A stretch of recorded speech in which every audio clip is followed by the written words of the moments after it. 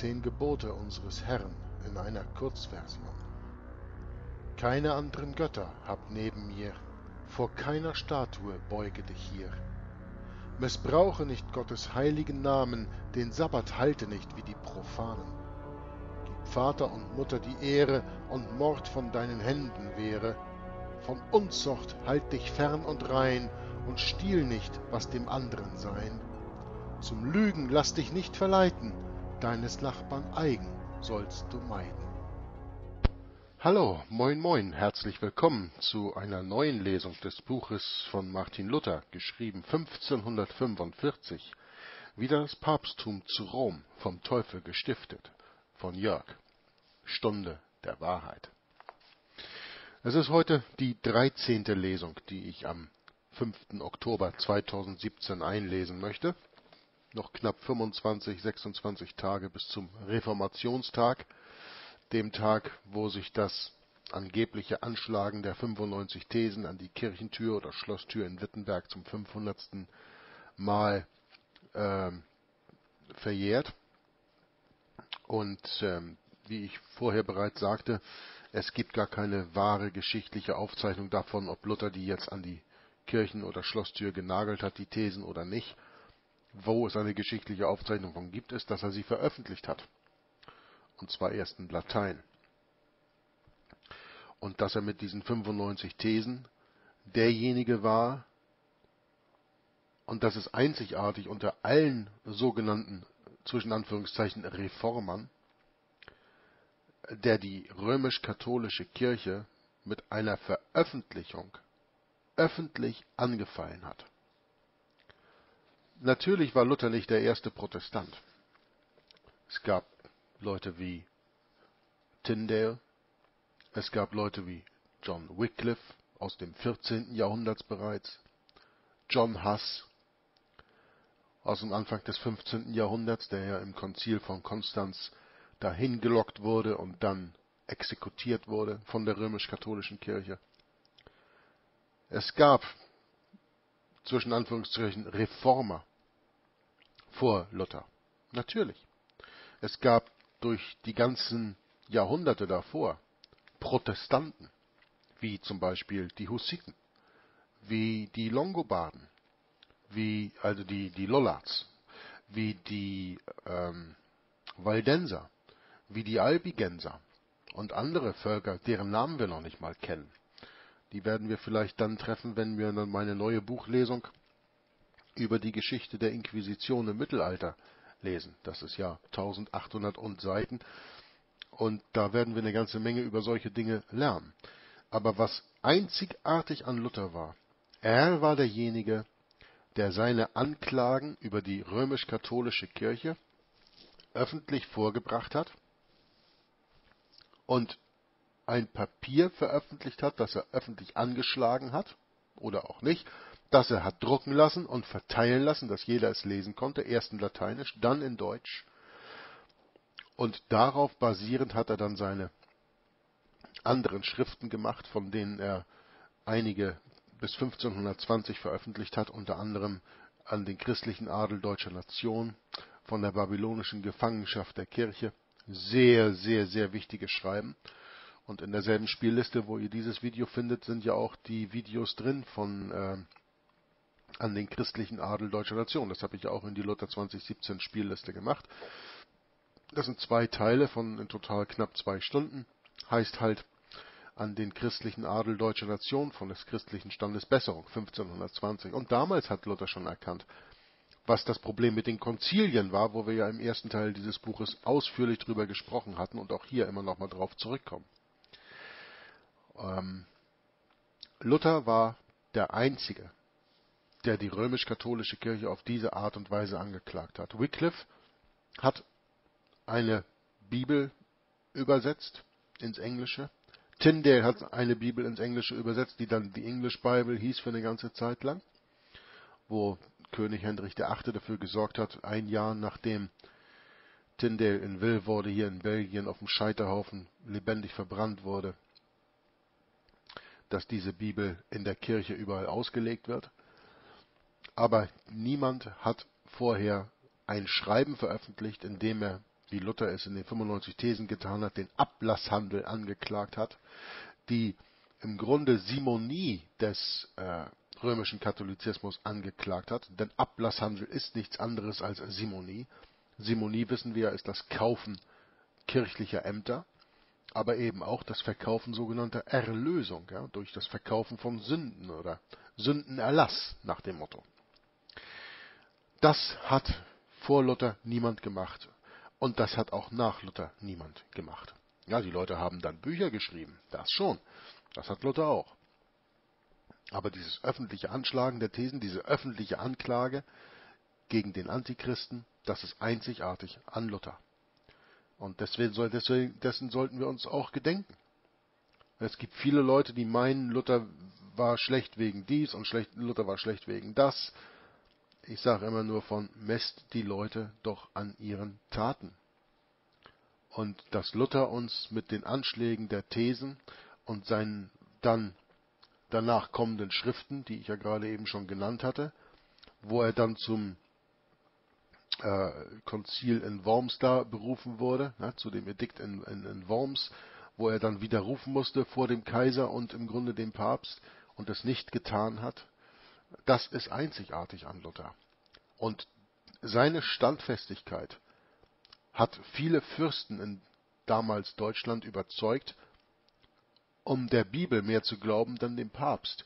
Und das hat dafür gesorgt, dass wir eine protestantische Nation wurden, dass Deutschland, also zumindest der nördliche Teil, eine protestantische Nation wurde. In Bayern wurde mitten des, Mitte des 16. Jahrhunderts noch jeder verbrannt, wenn er eine Bibel besaß. Da hat die Reformation niemals Fuß gefasst. Und ich nenne es nicht so gern Reformation, weil ihr ja wisst, die römisch-katholische Kirche ist die Synagoge Satans und nicht reformierbar. Also von daher nenne ich es lieber das Zeitalter der Protestanten. Und da sollten sich einige Leute heute vielleicht mal ein Beispiel dran nehmen und sagen von protestieren, ja, was denn? Das Protestieren, was Luther hier mit seinem Buch 1545 gemacht hat. Luther schreibt auf über 80 Seiten in diesem Buch die biblischen, historischen und prophetischen Gründe auf, warum das Papsttum und nur das Papsttum der Antichrist ist. Nicht irgendeine Person in der Vergangenheit, Nero oder Caligula oder sonst jemand, der aus dem Präterismus kommt, und die Präterismuslehre wurde erst 1614 in die Welt gesetzt durch Louis de Alcazar. Und auch niemand, der in der Zukunft kommt, wenige Jahre vor Jesus Christus zweitem Erscheinen, eine einzelne Person, die der Antichrist ist, was die futuristische Lehre ist, die zurückgeht auf die Lehre von, ähm, wie heißt er wieder, äh, Francisco Ribera. Von 1585 bis 1590 hat er sein Buch geschrieben, starb dann 1591 und der hat das in die Welt gesetzt und dann natürlich Kardinal Bellarmine, der Jesuit, der das dann übernommen hat, dann auch noch später und verstärkt hat. Und alle späteren Bibeln nach der König James Bibel, ne, also die ersten paar Jahrhunderte gab es ja nur die König James Bibel. Das Bibelfälschen fing ja erst Mitte des 19. Jahrhunderts an. Davor gab es nur die König James im Allgemeinen. Und diese ganzen anderen Bibeln, wie dann zum Beispiel die Schofield-Bibel oder äh, auch andere, äh, die sind auf eine Art und Weise geschrieben, die eben die die Theorie des zukünftigen Antichristen unterstützen. Deswegen sind so viele Leute verwirrt, weil in diesen neuen Bibeln, die wir heute überall bekommen können, die sind auf eine Art und Weise geschrieben, dass die Identifikation des Papsttums als Antichrist nicht mehr gegeben ist. Deswegen ist es so wichtig, sich alten Bibeln zuzuwenden, wie ich jetzt hier mache, halt mit der Luther 1545, aber wie gesagt, auch im letzten Video oder im Video davor kam ja auch wieder mal äh, habe ich ja, glaube ich, in das Video mit reingeschrieben, eine falsche Übersetzung. Ne? Da ging es darum, dass man äh, einander die Fehler beichten soll. Ne? Also äh, die, die Brüder, die christlichen Brüder untereinander hier auf dieser Welt sollen einander ihre Fehler erzählen und nicht ihre Sünden, ne? wie es in der Bibelübersetzung, in der deutschen Bibelübersetzung steht, in der König James steht, von profess your faults one to another. Ne? Also gib einander die Fehler zu, nicht die Sünden. Aber wie gesagt, das sind halt Übersetzungsprobleme, die ich weiß nicht woher kommen. Ich weiß nicht, ob Luther sie damals reingemacht hat oder ob sie kommen, weil die Lutherbibel 1545 als PDF, die ich heute bekommen kann, nicht die ist, wie Luther sie damals natürlich geschrieben hat. Ich gehe mal vom zweiten aus, dass Luther mehr oder weniger fehlerfrei war damit. Aber er hat sich dann eben an die Arbeit gemacht und hat die Bibel übersetzt und seine deutsche Bibelübersetzung, die 1522 fertig wurde, hat dafür gesorgt, dass halb Europa das Wort Gottes lernen konnte und dass dadurch auch auf Regierungsebene viele Fürsten, Könige dem Papsttum abgesagt haben und den Protestantismus zugelassen haben und der Papst seine Macht verloren hat, zum großen Teil. Und das ist eine Errungenschaft von Luthers Arbeit. Das kann niemand bestreiten. Da mag er hier und da noch theologische Fehler gehabt haben, aber wer hat das nicht? Wir müssen uns doch mal über ein Ding klar werden. Rechtfertigung geschieht von einem auf den anderen Moment.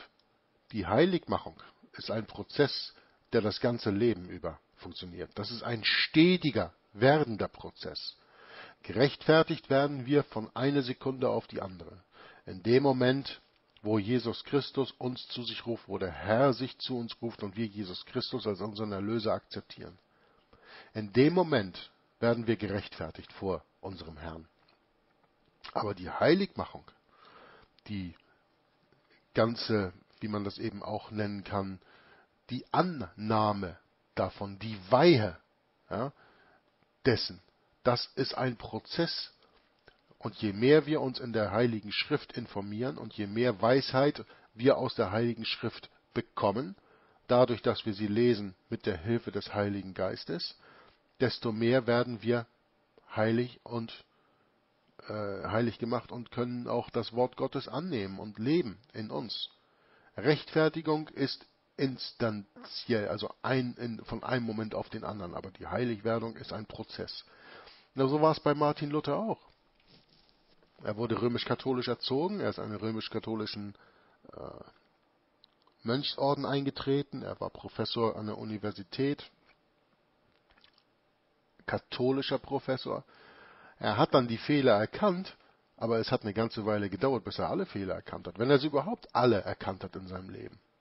Na, er hat sie nicht alle erkannt, weil ich werfe Luther zum Beispiel immer noch vor, dass er nicht über den Sabbat weitergegangen ist. Und ich habe selbst mal drüber gelesen, als die, als die Sache zur Sprache gebracht wurde bei ihm, da sagte er, ich habe meine Hände voll genug damit zu tun, mit der Arbeit, die ich jetzt mache, als dass ich mich auch noch um den Sabbat kümmern könnte. Und viele Leute würden ihn wahrscheinlich dann äh, noch mehr angreifen, als sie damals schon getan hatten. Deswegen habe ich im Englischen mal ein über drei Stunden langes Video gemacht darüber. Uh, why didn't the reformers go all the way? The Sabbath question. Also warum sind die Reformer nicht den ganzen Weg gegangen? Die Sabbatfrage. Und da kommen einige Dinge an zu Bord, die man eben auch aus dem Konzil von Trient rausholt. Und äh, Wer zu mir sagt von Jörg, der Sabbat ist nicht mehr gültig, ja, der sollte sich mal den Katechismus des äh, Konzils von Trient angucken und dann mal sagen und dann mal sehen, was die römisch-katholische Kirche dazu sagt und dann sehen, ob er sich lieber an das hält, was die römisch-katholische Kirche sagt oder an das hält, was die Bibel sagt.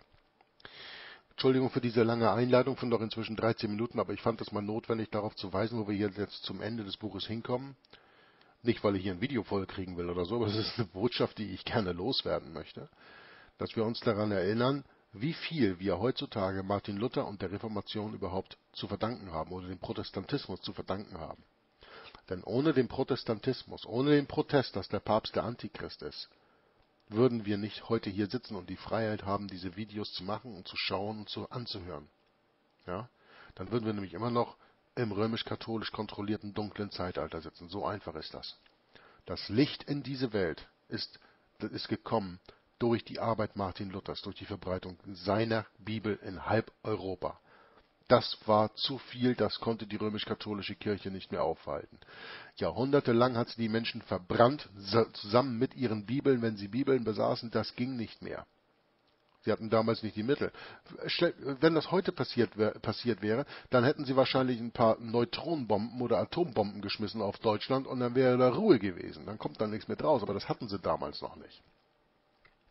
Also mussten sie, wenn sie die Bibel nicht mehr den Leuten wegnehmen konnten, dann mussten sie den Leuten die Bibel verfälschen. Ja, wenn ich eine verfälschte Bibel gebe, ist es genauso gut, als wenn ich gar keine gebe, weil die Leute können da ihr Wissen nicht draus beziehen. Und das ist das Wichtige. Das Wissen, das uns der Heilige Geist durch das Lesen, durch das Studieren des Wort Gottes gibt. Und das hat halt damals das dunkle Zeitalter beendet und das ist jetzt knapp 500 Jahre her. Und da muss, möchte ich gerne nochmal den Nachdruck drauf gelegt haben. Ich fahre jetzt fort, in dem Buch zu lesen. Auf Seite 77 für diejenigen, die gerne mitlesen möchten, den zweiten Absatz. He darfs keines juristischen Prozesses. Ich habe das zwar im letzten Video auch schon gelesen, aber ich gehe gerne noch mal ein, zwei Absätze zurück, dass wir da wieder reinkommen in diese nächste Lesung und möchte jetzt hier auf Seite 77 in dem Absatz fortfahren. He darfs keines juristischen Prozess noch des langen Rechten, Exzeption, Appellation, alle Sachen sind notoria de facto et jure. Offenbärlich, also offenbar, ist die, ist die Tat des Papsts. Offenbärlich ist das Mandat unseres Herrn Jesu Christi. Ah, hier schweige still, Jurist, schweige still, Theologen, Kaiser, Könige, ja, auch die Engel im Himmel sind alle und alle Kreatur. Es redet hie und richtet der, der nicht Frauenmilch, sondern Jungfrauenmilch gesogen hat und am Kreuz so arm gewesen ist, wie wir in Matthäus 8, Vers 20 lesen, dass er nicht hatte Raum, sein Häupt zu legen. Und doch, dass selbst das Paradies, wie in Lukas 23, 43 und Himmelreich schenkt dem Schächer, dem Räuber, der zusammen mit ihm gekreuzigt wurde, und in der Krippen von allen Engeln in Matthäus 2, Vers 11 im Himmel angebetet ward, also angebetet wurde.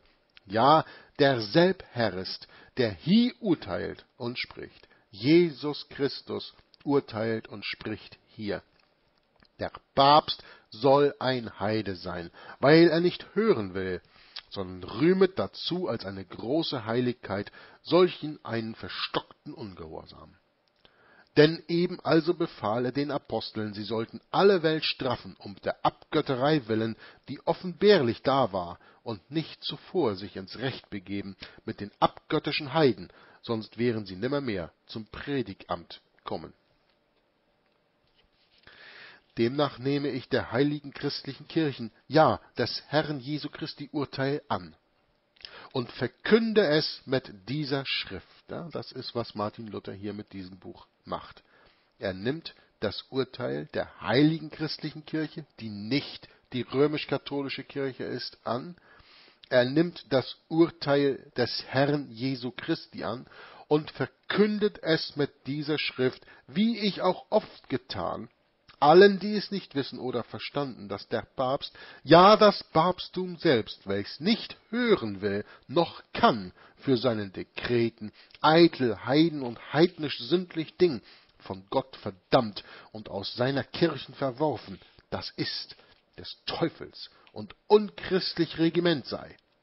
Dafür sich jedermann segnen und zu fliehen, da wieder zu beten und zu tun schuldig sei ein wichtiger Satz, den ich gerne gut verstanden wissen möchte. Deswegen werde ich ihn nochmal etwas eingekürzt auf neuerem Deutsch erklären. Demnach nehme ich der heiligen Kirchen, ja sogar des Herrn Jesu Christi Urteil an und verkünde es mit dieser Schrift, also das Buch, wieder das Papsttum zu Rom vom Teufel gestiftet, wie ich auch oft schon vorher getan habe, ja, weil Luther hat schon 1520er Jahren den Papst als Antichrist identifiziert, und allen, die es nicht wissen oder verstanden, dass der Papst ja das Papsttum, welches selbst nicht hören will, aber auch nicht hören kann, durch alle seine Dekrete, eitle Heiden und heidnisch sündlichen Dinge von Gott verdammt und aus seiner Kirche verworfen, das ist des Teufels und unchristlich Regiment sei. Dafür oder deswegen, ganz wichtig, dafür sich jedermann segnen oder zu fliehen, da wieder zu beten und zu tun schuldig sei.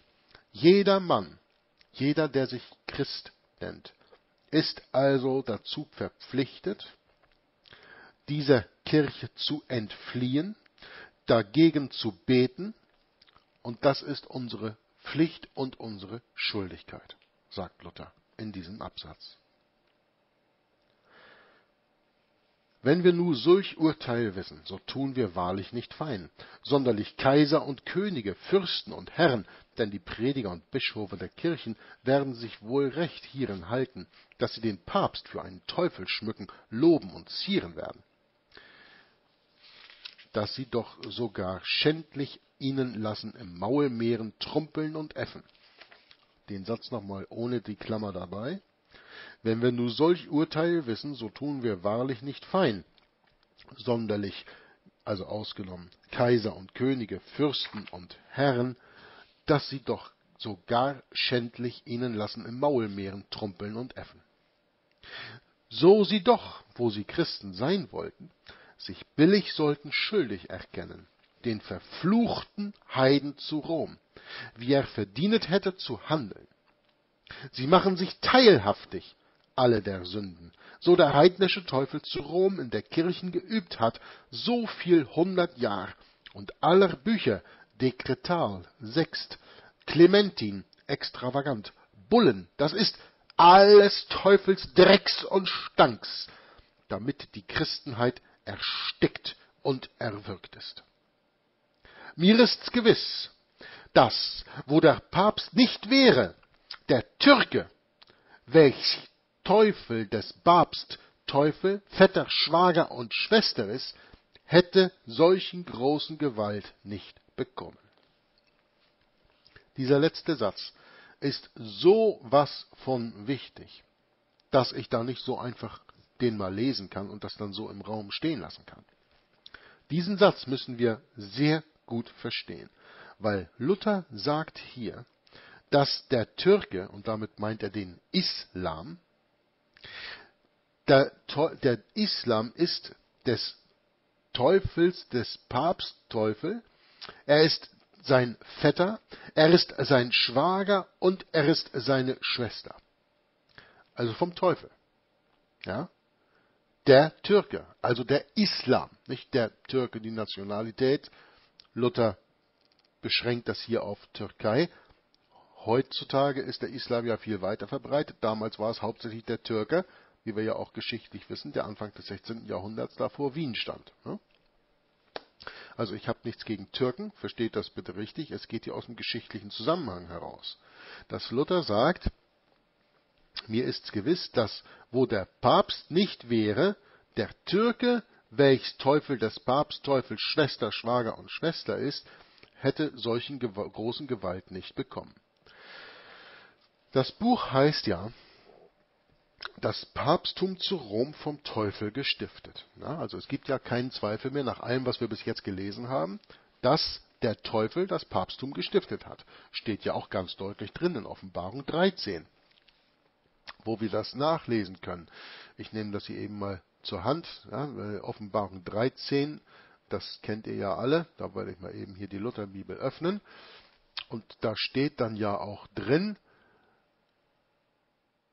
und beteten den Drachen an, der dem Tier die Macht gab, und beteten das Tier an und sprachen, wer ist dem Tier gleich? Wer kann mit ihm kriegen? Ja?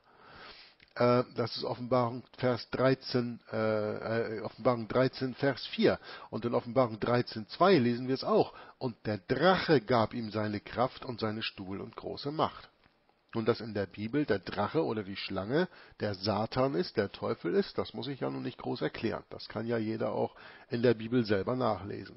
In Offenbarung 13 steht also genau das, wo Luther hier ein ganzes Buch von über 80 Seiten drüber schreibt, genau drin. Dass nämlich das Papsttum vom Teufel gestiftet ist. Ne? Offenbarung 13, Vers 2. Der Drache gab ihm seine Kraft und seinen Stuhl und große Macht. Ne? Der heilige Stuhl. Ne? Er gab ihm seine Stuhl, seinen Stuhl. Und schreibt Luther hier, dass der Türke, also der Islam, des Teufels Vetter, Schwager und Schwester ist. Oder eben auch des Papstes Vetter, Schwager und Schwester ist. Hier legt Martin Luther einen ganz wichtigen und deutlichen Zusammenhang zwischen dem Antichristen auf der einen Seite und dem Islam auf der anderen. Das, was uns Jahrhunderte später Alberto Rivera bestätigt hat, dass der Vatikan den Islam gegründet hat, schreibt Luther hier in anderen Worten auch in diesem Satz. Mir ist gewiss, sagt er, dass wo der Papst nicht wäre, der Türke, welches Teufel des Papstes Teufel Vetter, Schwager und Schwester ist, hätte solchen großen Gewalt nicht bekommen. Mit anderen Worten, wenn der Papst nicht wäre, hätte der Islam die große Gewalt nicht bekommen, die er hat. Was ist das anders, als die zwei miteinander zu verbinden und zu sagen, ohne den einen und die Macht des einen wäre der andere gar nicht? Genau das ist das. Ein Satz, über den man ganz leicht hinweglesen könnte, wenn man nicht das richtige geschichtliche Verständnis hat. Und das ist genau das, was ich versuche, euch in diesem Buch nahezubringen. Das richtige geschichtliche Verständnis. Oben auf Seite 78 schreibt Luther, mir ist gewiss, dass, wo der Papst nicht wäre, der Türke hätte solche großen Gewalt nicht bekommen. Weil der Türke des Teufels Papst, Vetter, Schwager und Schwester ist. Deutlicher kann man es nicht sagen. Und wie gesagt, der Türke ist nur ein Synonym für den islamischen, islamitischen Glauben.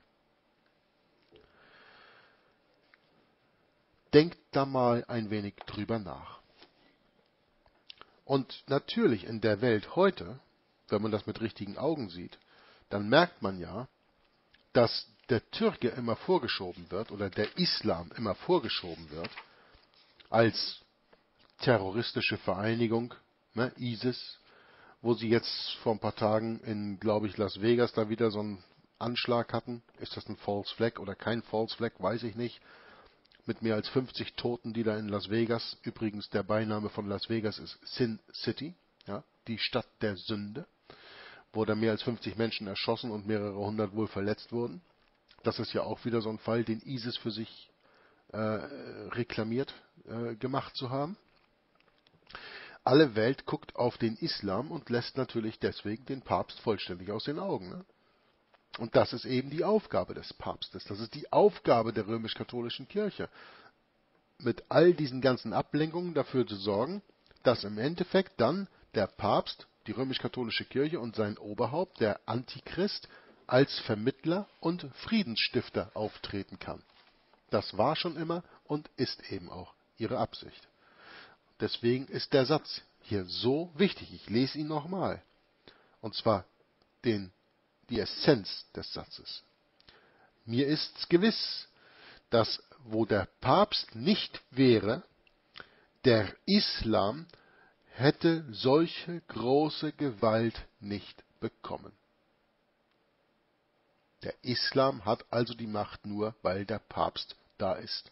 Weil der Papst das ist, was er ist. Das sagt Luther hier ganz deutlich. Und das ist auch ganz deutlich für diejenigen, die die Bibel als ihre oberste Autorität akzeptieren. Für all die anderen, das sind Spotter, die sowieso nicht an das Wort Gottes glauben, dass die immer mit irgendwelchen anderen Argumenten kommen, das wundert mich überhaupt nicht.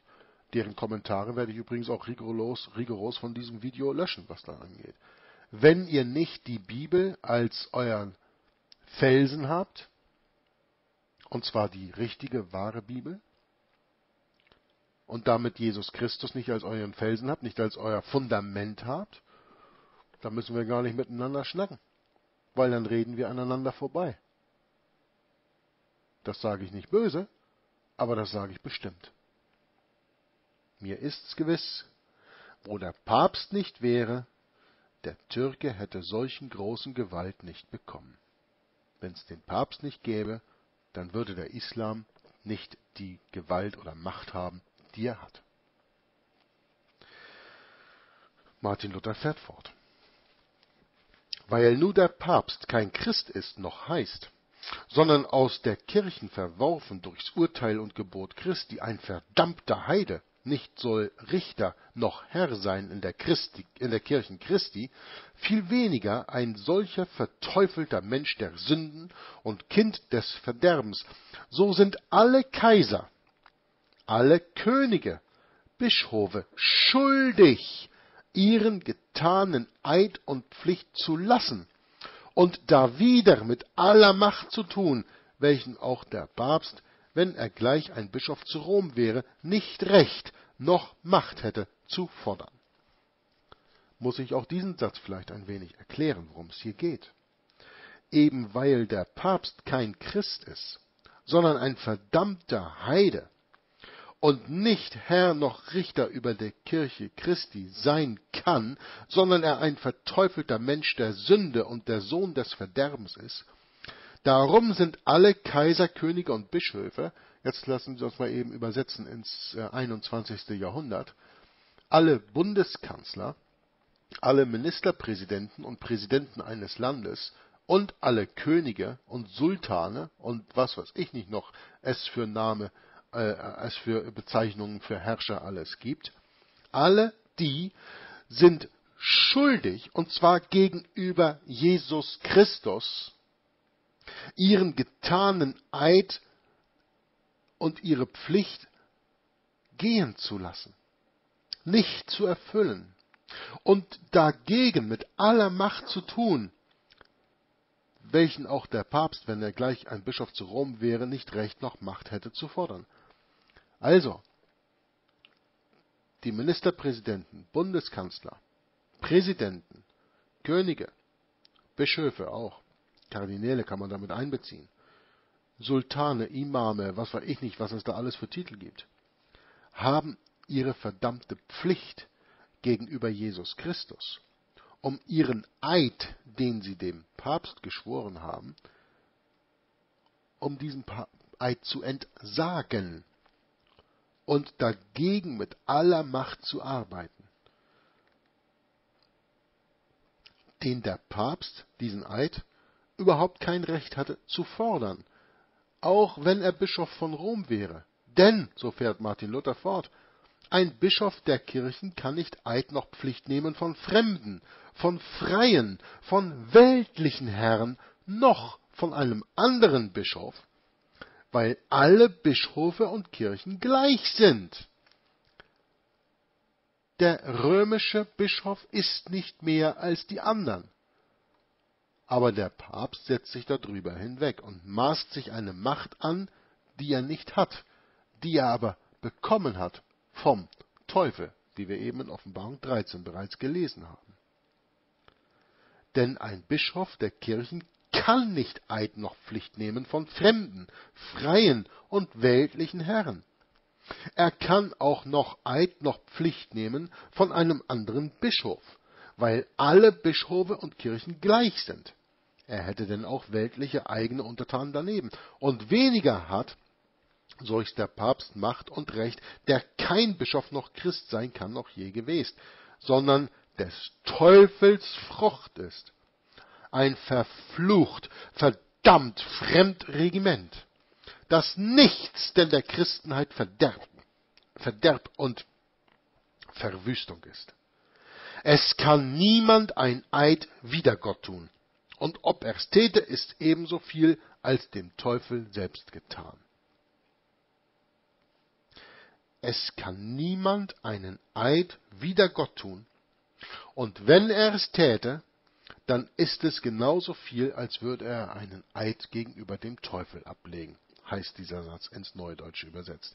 Welches man soll, wo es erkannt wird, flugs zu reißen, wie die Jura selbst auch sagen, und da wieder tun aus Kraft des ersten und anderen Gebots. Du sollt keinen anderen Gott haben und seinen Namen nicht missbrauchen. So also sind Kaiser und Könige und Bischöfe ihres Eids los, so dem Papst getan ist, und schuldig dafür dem Papst wieder zustehen in allen seinen Werken, denn solcher Eid ist dem Teufel getan, als wenn die Schafe dem Wolfe geschworen hätten unter dem Namen ihres frommen Hirten. Es gibt da ein schönes Bild. Mal sehen, ob ich daran denke, das hier in das Video mit einzuarbeiten. Wo die Schafe, ich glaube, das ist in Niederländisch sogar sagen, das Bild. Was haben wir getan, dass wir beim Wolf zur Beichte gehen? Das ist genau das, wo Martin Luther hier drüber schreibt. Also sind Kaiser und Könige und Bischöfe ihres Eids los, also von ihrem Eid losgesagt. So er denn dem Papst getan ist, also zu dem Papst gesprochen wurde, dieser Eid, und schuldig dafür, dem Papst zu widerstehen in all seinen Werken, denn ein solcher Eid, der dem Teufel getan ist, ist, als wären die Schafe dem Wolfe geschworen unter dem Namen ihres frommen Hirten. Und hier sollten die Juristen, denn der Papst will ein Jurist sein und Lehrer aller Juristen, repetundarum mit ihm spielen. So, was heißt repetendarum? Da habe ich mir eine Note gemacht. Auf Seite 367 in der englischen Version gibt es eine Fußnote, die sagt, repetundarum ist ein anderer ähm, legal, ähm, gesetzlicher, legaler Term, bei welchem Luther meint, dass der Papst sollte verfolgt werden repetundarum. Ne? Also wie wir das hier in dem Buch lesen. Und hier sollten die Juristen, weil der Papst selbst will ja auch ein Jurist sein und Lehrer aller Juristen, repetundarum mit ihm spielen. Ein weiterer legaler Term, mit welchem Luther meint, der Papst sollte verfolgt können, können werden. Denn weil er nicht ein Bischof noch Christ, sondern ein Heide, ja ein ungezähmter Bärwolf ist, der alles zureißt und verwüstet und die Schlüssel der Kirchen zu sich gerissen hat, welche ihm doch nie befohlen, sondern St. Peter allein verheißen sind, wie die Worte in Matthäus 16 klärlich lauten und die Juristen de futuro verstehen. Wir Theologen aber weiter hierzu sagen, wenn sie gleich St. Peter verheißen, dazu auch gegeben wären, dass dennoch damit nicht beweiset wäre, dass alleine die römische Kirche solche Schlüssel haben könnte, weil St. Peter mehr Kirchen hätte gestiftet. Abgesehen davon, dass er die römische Kirche überhaupt nicht gestiftet hat, selbst wenn, wir haben vorher in diesem Buch bereits bewiesen, dass St. Peter, also Petrus, der Apostel Petrus noch andere Kirchen gestiftet hat, weil er war nämlich noch in anderen Regionen damals unterwegs. Und warum sollte, wenn alle Kirchen gleich sind, die römische Kirche über allen stehen? Das ist die Frage, die Luther hier mit anderen Worten wieder stellt und die wir uns auch stellen müssen. Die wir uns dann stellen müssen, wenn wir dem Papst folgen. Ich stelle mir die Frage nicht, ich verstehe es. Es steht in der Bibel da deutlich geschrieben, wir sind alle Brüder und Schwestern und einer ist das Haupt, das ist Jesus Christus. Es gibt keine eine Kirche, die über der anderen steht. Es gibt keinen einen Bischof, der über einem anderen steht. Und das ist der Punkt, auf den wir hier in diesem Satz herausgehen.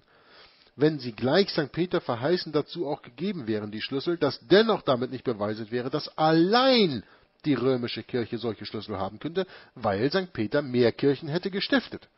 Denn die römische Kirche hat er sie anders gestiftet, welches ungewiss und unbeweiset bleibt ewiglich, welchen ebenso wohl die Schlüssel von St. Peter, ihrem Apostel, als der römische Kirchen mussten gegeben sein. Der Papst aber, nachdem kein Bischof mehr zu Rom gewesen, solche Schlüssel, ehe sie St. Peter gegeben, gestohlen und geraubt, sich derselben unterwunden, damit gebahret, als wären sie sein allein, und eigen, so er doch ein Fremdtier und Bärwolf in die Kirchen sich gedrungen hat und von Christo, wie gehört, verdammt ist. Ein Bärwolf, der, der sich, also der Papst, der sich doch ein Fremdtier und Bärwolf in die Kirchen sich gedrungen hat. Das ist genau das, vor dem Jesus Christus uns warnt in der Bibel. Denn in Matthäus Kapitel 7, Vers 15 lesen wir, Seht euch vor vor den falschen Propheten, die in Schafskleidern zu euch kommen, inwendig aber sind sie reißende Wölfe. Das ist genau das, von dem Martin Luther hier spricht. Jesus hat es alles vorhergesagt. Man muss es nur lesen und verstehen. Der Papst aber, nachdem kein Bischof mehr zu Rom gewesen, solche Schlüssel, ehe sie St. Peter gegeben, gestohlen und geraubt, sich derselben unterwunden, damit gebaret, als wären sie sein allein und eigen, so er doch ein Fremdtier und Beehrwolf in die Kirchen sich gedrungen hat und von Christo, wie gehört, verdammt ist. Seht euch vor, vor den falschen Propheten, die in Schafskleidern zu euch kommen, inwendig aber sind sie reißende Wölfe. An ihren Früchten sollt ihr sie erkennen. Kann man auch Trauben lesen von den Dornen oder Feigen von den Disteln? Fährt Jesus hier fort. Martin Luther fährt fort auf Seite 79. So sollten nur die Juristen ihre Herren, Kaiser, Könige, Bischöfe, Fürsten und Herren vermahnen, wie sie schuldig sind, wo sie Christen und selig werden wollen, und nicht aufhören, bis sie den verdammten Papst zwungen, ad restitutionem alles wiederzugeben und zu erstatten, was er von Anfang des Papsttums mit den Schlüsseln gestohlen, geraubt und in der Kirchen getan hätte. Dieser, Sitz, dieser, dieser Satz fragt wieder mal eine kleine Erklärung. So sollten nun die Juristen ihre Herren, Kaiser, Könige, Bischöfe, Fürsten und Herren vermahnen, wie sie schuldig sind und nicht aufhören sollten, bis sie den verdammten Papst gezwungen haben, ad restitutionem alles wiederzugeben und zu erstatten, was er von Anfang des Papsttums mit den Schlüsseln gestohlen hat. Ja, hier muss ich einen wichtigen Kommentar sprechen. Wir haben in diesem Buch und überhaupt durch die Geschichte und andere Buchlesungen und was gelernt, dass der Papst sich Dinge aneignet, die nicht von ihm sind. Wir hatten ja auch gesprochen unter anderem über die Schenkung von Konstantin, ich glaube in der dritten Lesung des Buches. Und darauf basiert der Papst eben, dass er seinen Raubzug durch die Welt gehalten hat. Und all den Reichtum, den der Vatikan und die römisch-katholische Kirche sich im Laufe der Jahrhunderte angeeignet hat, hat sie sich nur angeeignet dadurch, dass sie es anderen Menschen gestohlen hat. Nun, der wichtige Punkt, den ich sagen will, ist folgender. Hier schreibt Martin Luther, den verdammten Papst zwingen ad restitutionem alles wiederzugeben und zu erstatten, was er von Anfang an aufgrund dessen, dass er sich die Schlüssel angeeignet hat, gestohlen, geraubt und in der Kirche getan hätte. Also, der Papst ist verpflichtet, alles wiederzugeben, was er unrechtmäßig, weil er sich unrechtmäßigerweise die Schlüssel von St. Petrus angeeignet hat, was er sich alles angeeignet hat, muss er alles zurückgeben. Das sagt Luther hier. Und das ist ja mit der Reformation eben auch passiert. Mit dem Protestantismus. Der Papst hat nicht alles zurückgegeben, aber der Papst hat, das Papsttum hat, die römisch-katholische Kirche hat viel von ihrer Macht verloren, aber auch viel von ihrem zwischen Anführungszeichen Eigentum verloren, was ja niemals ihr Eigentum war. Sie hat ja immer alles gestohlen. Wenn sie es nicht von Menschen gestohlen hat, hat sie es von Gott gestohlen. Der Punkt, den ich machen will, ist der folgende. Wenn wir heutzutage sprechen über die neue Weltordnung, die ja im Grunde nichts anderes ist als die alte Weltordnung wiederhergestellt, die Zeit vor der Reformation oder vor dem Protestantismus, auf globaler Ebene dieses Mal. Jetzt weiß ich nicht, wie ich den Satz sagen wollte, Entschuldigung. Also, durch, die, durch den Protestantismus wurden dem Papst der römisch-katholischen Kirche viele Dinge genommen. Und wie in Offenbarung 13 steht, mit der tödlich erscheinenden Wunde, ist das ja so, der Papst schien tot und deswegen sind ihm viele Dinge genommen worden. Nun, das wurde ihm aber damals alles genommen, vor allen Dingen während, der Zeit der Reformation, weil die Leute damals, und zwar der normale Mensch auf der Straße, der die Bibel gelesen hat, der Klerus, der nicht von der römisch-katholischen Kirche war, sondern der sich aus diesen neuen protestantischen Kirchen gebildet hat. Selbst Könige, Kaiser und Fürsten wussten, dass der Papst der Antichrist ist.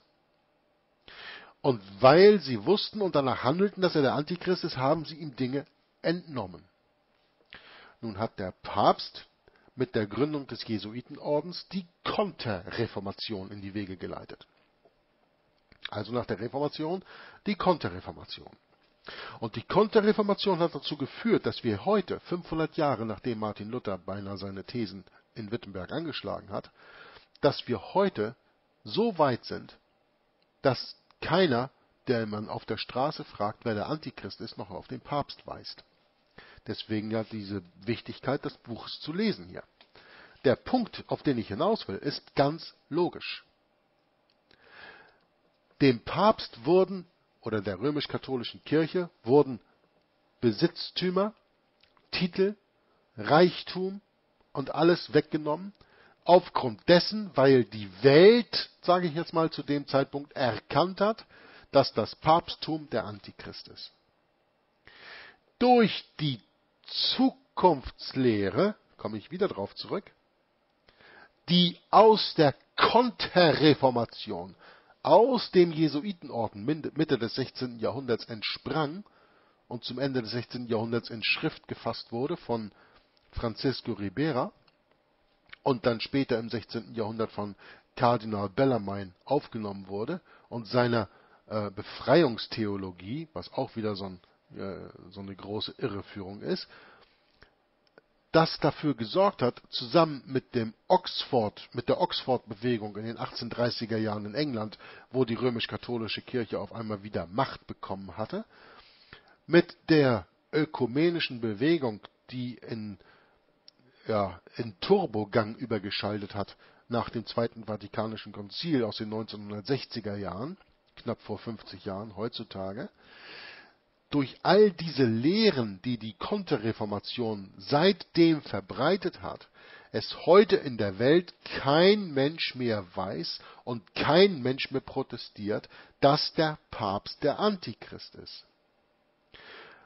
Nun sagt der Papst, ja, ihr habt mir damals Besitztümer, Reichtümer, Geld, Ländereien, Macht weggenommen, weil ihr meintet, dass ich der Antichrist bin. Heute aber vertritt diese Lehre niemand mehr.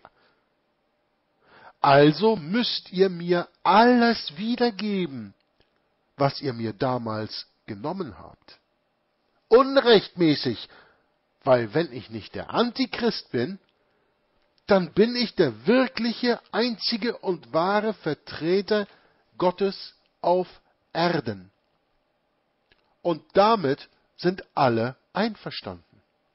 Alle, die den Papst nicht als Antichrist protestieren, sind einverstanden damit, dass der Papst nicht der Antichrist ist.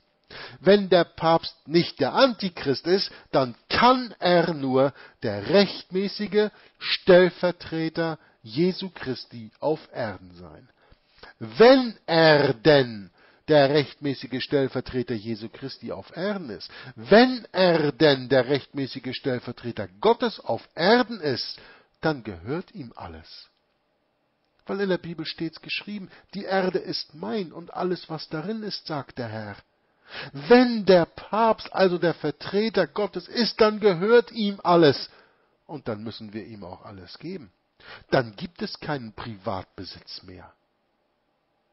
Und da kommen wir zu der Agenda der sogenannten neuen Weltordnung, was nichts anderes ist als die Macht des Papsttums wiederhergestellt zu den Zeiten vor der Reformation, vor 1517. Ich hoffe, dass ihr das gut verstanden habt, weil das ist essentiell. Alles, was heute in der Welt geschieht, an Politik, an Kriegen, das passiert lediglich dazu, um dafür zu sorgen, dem Papst alle Macht zurückzugeben, die er damals verloren hat. Die Wunde heilt, wie er in Offenbarung beschrieben ist. Offenbarung 13. Ne? Die Wunde heilt wieder. Wenn die Wunde wieder geheilt ist, dann hat der Papst alles zurück. Und dann ist der Papst, da niemand ihn als Antichristen identifiziert, der Stellvertreter Christus oder der Stellvertreter Gottes auf Erden. Und da Gott, wie in der Bibel geschrieben steht, alles gehört, gehört eben alles dem Papst. Uns gehört nichts. Deswegen gibt es keinen Privatbesitz. Und da gibt es ja wunderbare theologische Werke zu, christlich, also christliche, katholische Werke zu. Ähm, die äh, päpstliche Bulla äh, Caritas in Veritate zum Beispiel. Sollte man mal lesen, wenn man sich mit solchen Dingen beschäftigt. Die ganze Arbeit von äh, Thomas von Aquin, sein Summa Theologica, fasst es schon in, im 13. Jahrhundert alles zusammen. Das ist heute noch genauso gültig. Der Papst spricht heute, wenn er irgendwo auftritt, wie zum Beispiel in 2015, als er äh, vor einer Versammlung des Kongresses und Senats in Amerika aufgetreten ist, hat er, glaube ich, sechsmal das, äh, den, den, den, äh, das Wort gebraucht, Common Good, ja? Gemeinschaftsgüter. Der Gemeinschaftsgüter sind keine individuellen Güter. Ne? Individueller Besitz wird unter der neuen Weltordnung, wie es auch unter der alten Weltordnung war, abgesprochen. Alles gehört dem Papst.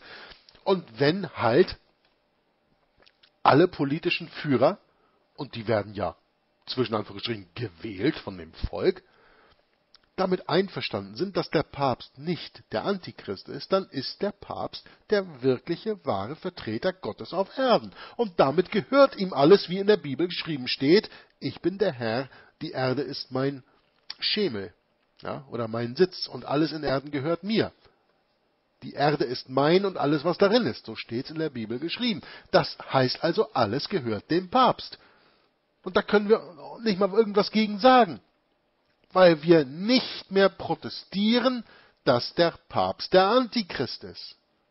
Seht ihr jetzt, wie gefährlich diese Zukunftslüge des zukünftigen Antichristen ist?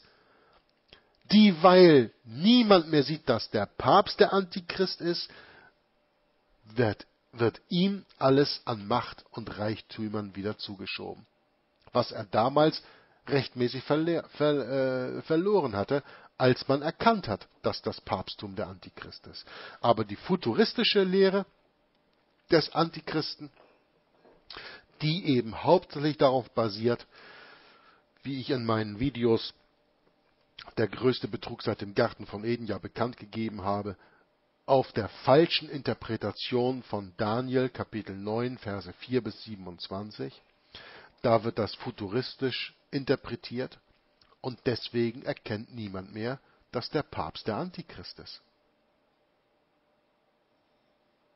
Was kann ich noch mehr sagen, um es euch deutlich zu machen? Ich würde mich wirklich mal, das muss ich an dieser Stelle mal sagen, ich würde mich wirklich mal freuen, wenn ich, wenn ihr dieses Video geschaut habt, Bericht bekomme von denjenigen, die es verstanden haben. Dass sie mal schreiben, Jörg, ich habe es verstanden. Das Papsttum war, ist und wird immer der biblische, prophetische, äh, biblische, historische und prophetische Antichrist sein. Schreibt mir das mal, dass ich mal weiß, dass ihr das versteht, was ich hier auf biblische und geschichtliche und prophetische Weise euch erkläre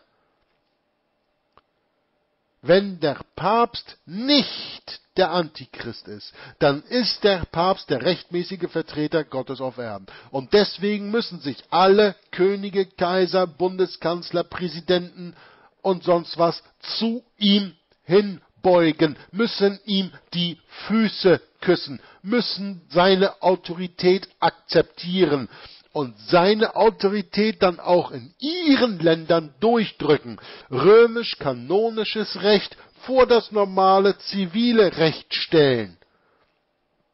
Und dann sind wir wieder genau da, wo wir für 500 Jahren waren.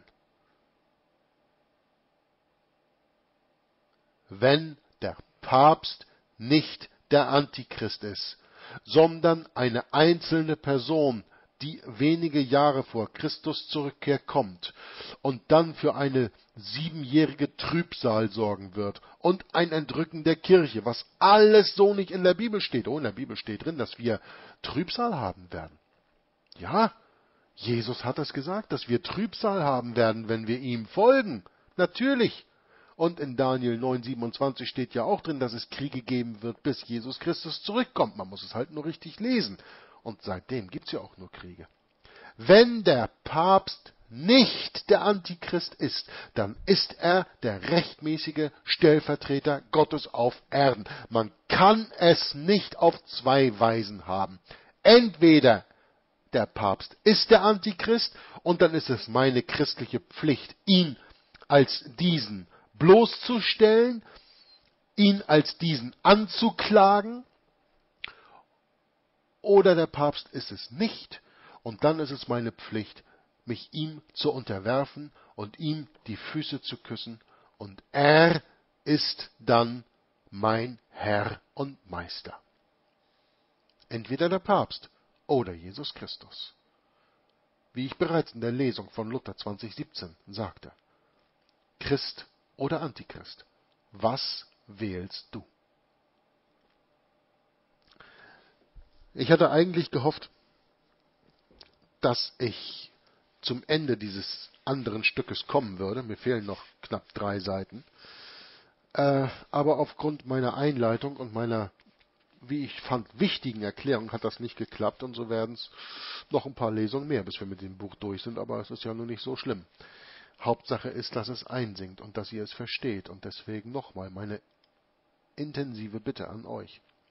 Wenn ihr es versteht, wenn ihr es begriffen habt, wie die Bibel es meint, und ich versucht habe, euch hier deutlich aufgrund der Bibel, der Historie und der Prophetie zu erklären, und ihr verstanden habt, dass der Papst der Antichrist ist und was das alles beinhaltet, dann lasst es mich bitte wissen. Soweit möchte ich euch herzlich danken fürs Zuschauen, Zuhören und bis zum nächsten Mal. Jörg von Stunde der Wahrheit wünscht euch noch einen schönen Tag Möge Gott euch behüten, beschützen und segnen und euch halten auf den schmalen Pfad zur Erlösung. Bis zum nächsten Mal. Tschüss.